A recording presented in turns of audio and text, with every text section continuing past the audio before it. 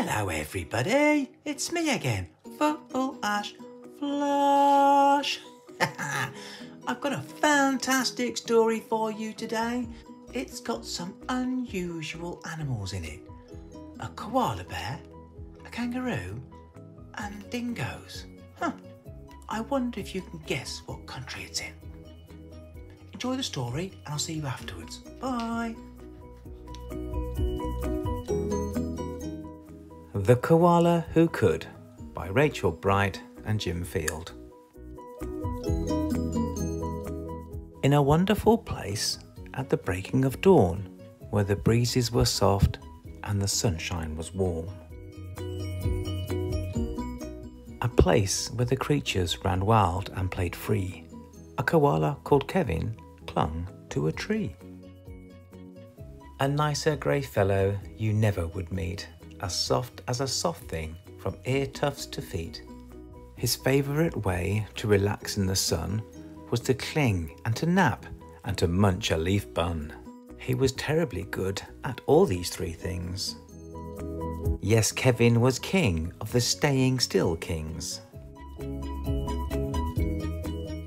You see, Hyatt was safe since he liked a slow pace, while the ground down below seemed a frightening place too fast and too loud and too big and too strange. Nope, Kevin preferred not to move nor to change. So he clung to his tree as he knew how to do and was never too keen to try anything new. So when Wombat stopped by and shouted one day, Hey Kevin, why don't you come down here and play? Um, I think he replied. I should stay on my plant. I'm busy right now. No, I'm sorry, I can't. Why not? cried the Roos, who liked the idea. Yes, why? called the Dingoes. You've nothing to fear. But Kevin, who wasn't the do things quick sort, said I've clinging to do, but thanks for the thought. As Kevin sat watching them chatter and share, a part of him wished he could join them down there. But he knew he'd miss home in the dark and the late. The whole thing was risky, adventure could wait.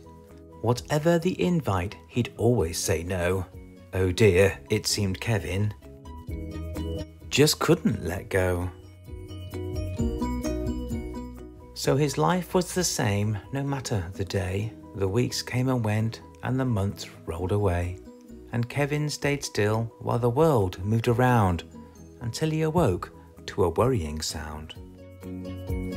Tap, tap, tap, tappity tap. The sound went. Well, this was a blow.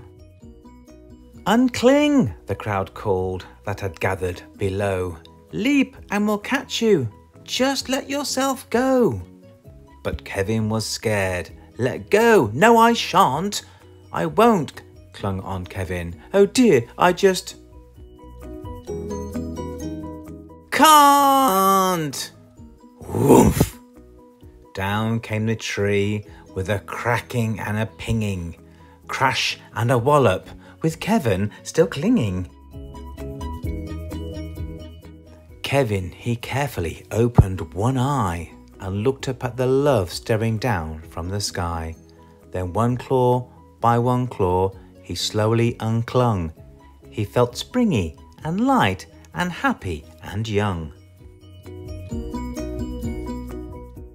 The worst he could think of had now come to pass, and he was just fine.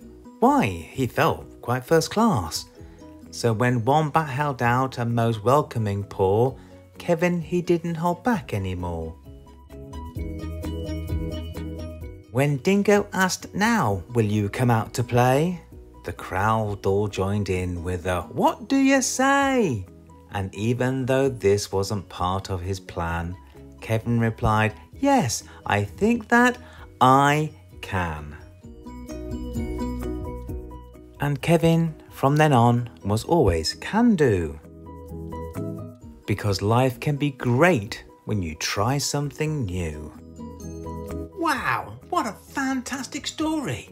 Did you guess the country we were in? It was Australia. Ha! Those animals really were trying to look after that koala bear, but that koala bear was scared to try new things. I'm sure it's a bit difficult trying new things, but we should all have a try. I'll see you again soon, guys, for another story. Bye.